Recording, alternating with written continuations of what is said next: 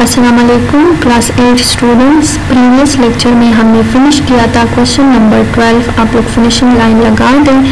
आज के लेक्चर में हम स्टार्ट करेंगे क्वेश्चन नंबर थर्टीन राइट करें question write a note on nature of the virus blue marker से आप लोगों ने क्वेश्चन लिखना है और हेडिंग्स और आंसर पेन से लिखने हैं। Describe the status of virus are virus is a unique particle describe it तो इसके बारे में ये तीन क्वेश्चन आ सकते हैं। और फिर हेडिंग दे दें आप लोग मार्कर से आंसर आंसर लिख तो इसके बाद चले माइंड मैप की तरफ़ जाते हैं, ठीक है? माइंड मैप की तरफ़ जाते हैं तो इनका ये माइंड मैप है, आप लोग इस डिज़ाइन का भी बना सकते हैं, और अगर खुद से अच्छा आ रहा है तो वो भी बना सकते हैं आप लोग। Nature of virus is living and not living outlines pencil से अंडर राइटिंग मार्कर से लिविंग में रिप्रोड्यूस जेनेटिक रिकम्बिनेशन ठीक है? और, ठीक है, ये जेनेटिक रिकम्बिनेशन है। इन्फेक्शन और non living properties no cellular structure no live processes and crystallization ठीक है तो ये माइंड मैप हो गया। माइंड मैप के बाद चले इनके आंसर की तरफ़ जाते हैं। तो इनके आंसर्स में, ठीक है, हमारे पास Nature of virus having DNA nature of virus. Virus is very unique in nature. Virus can show the properties of both living and non-living. Viruses being living, viruses are considered as living because heading there they can reproduce. Blue markers say they can grow and reproduce in certain conditions.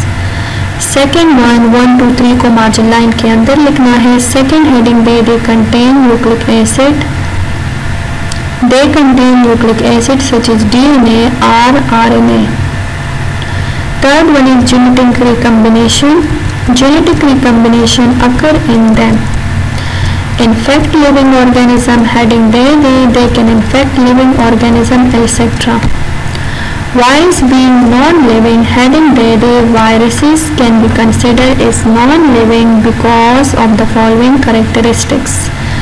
One two three को margin line के अंदर लिख के no cellular structure they have no cellular structure again crystallization they can be crystallized and stored like chemical for indefinite time no life processes they do not show any of the life processes outside the cell borderline because of both या border line आप लोग ना लिखे आप लोग लिखिए conclusion heading लिखिए conclusion वो बॉर्डर लाइन ना लिखे because of both living and non living virus is consider the border line between living and non living things वहाँ पे बॉर्डर लाइन का हेडिंग नहीं देना है कंक्लूजन्स का हेडिंग दे दें। क्वेश्चन थर्टीन फिनिश हो गया। क्वेश्चन फोर्टीन स्टार्ट ले लेते हैं। आप लोग फिनिशिंग लाइन लगा दी। डेट्स भी लिखनी है। कॉपीज पर मार्जिन लाइन्स भी लगानी है। क्वेश्चन फोर्टीन है। Explain the structure of virus answer और आंसर के बाद चलते हैं। माइंड मैप की तरफ़। जी तो इनका माइंड मैप ये है, ठीक है माइंड मैप आप लोगों ने बनाना है। तो स्ट्रक्चर ऑफ़ वायरस का माइंड मैप है protein coat and nucleic acid बहुत सिंपल माइंड मैप है, यहाँ पर भी एरो लगा दी, यहाँ पर भी कि इनके स्ट्रक्चर में प्रोटीन कोट है और न्यूक्लिक एसिड है। इनके आंसर की तरफ़ जाते हैं, ठीक है? इनको फुल कर लेते हैं पेज को। structure of virus. Viruses consist of following two parts, one into protein core, nucleic acid core. The outermost covering of the virus is made up of protein and is known as protein coat. It is also known as capsid or head. Heading by the blue marker say nucleic acid core inside the protein core DNA or RNA is present both the DNA or RNA never combine together in virus. फिर आप लोगों ने block के अंदर diagram बनाना है ठीक है marker से ब्लॉक बना दे है डायग्राम छोटा बना ले ये बड़ा बना हुआ है और लेबलिंग एक साइड पे करोगे जिस तरह यहाँ पे हुई है लेबलिंग एक साइड पे लेबलिंग कैपिटल लेटर्स में विद डबल अंडरलाइनिंग इसको फॉलो करके आप लोगों ने डायग्राम बनाना है? यहाँ पर जस्ट एक मिसिंग है कि यहाँ पर ब्लॉक में बंद नहीं हुआ है। आप लोग इनको ब्लॉक में बंद करके बनाए हैं। छोटा बना लें, लेकिन ब्लॉक्स के अंदर बनाना है। फिनिशिंग लाइन लगा दें और स्टार्ट ले लें। क्वेश्चन 15 का Describe binomial nomenclature system with examples are write a note on binomial nomenclature. Answer का हेडिंग दे दी ब्लू मार्कर से और चले चलते हैं इनकी माइंड मैप की तरफ़ क्वेश्चन 15 का माइंड मैप जो है वो ये है यहाँ पे।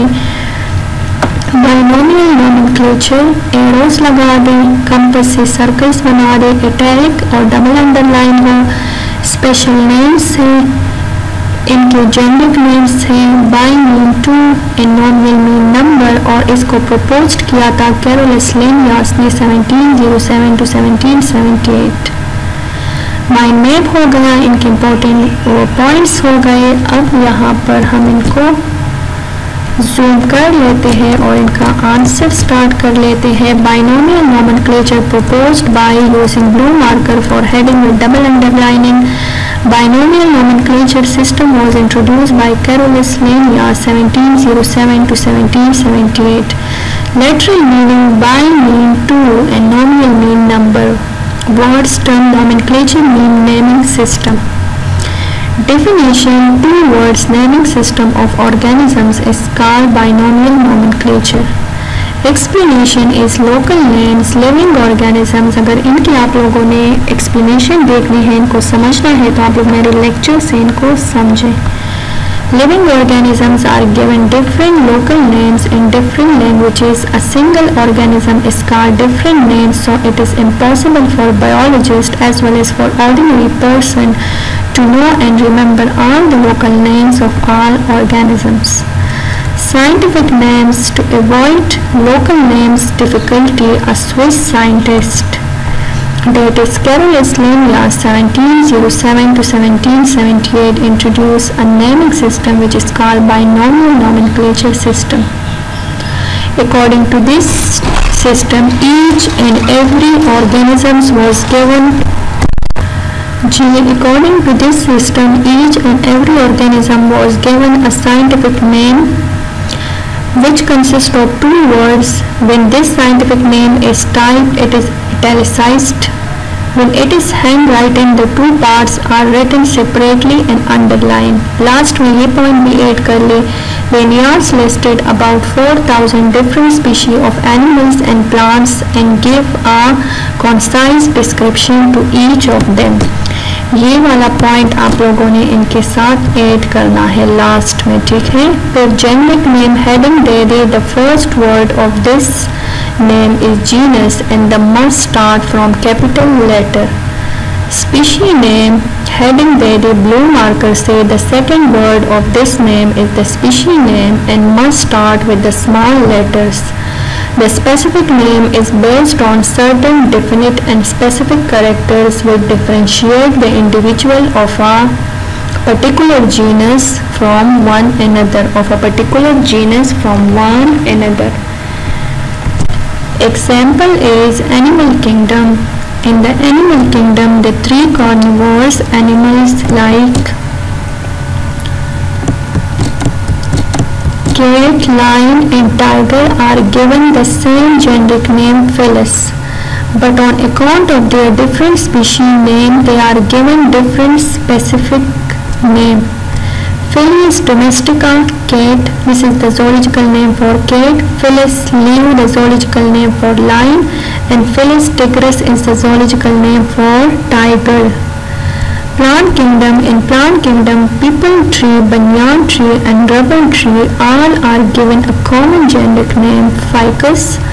Since these are different members of the same species, ficus possess certain particular species characters. They are given different species names such as Ficus religiosa, Ficus benghalensis and Ficus elastica यानी peepal banyan और rubber tree first जो है ये genus है और ये species है genus का फ़र्स्ट लेटर कैपिटल होगा और इनका फ़र्स्ट लेटर स्मॉल होगा, ठीक है?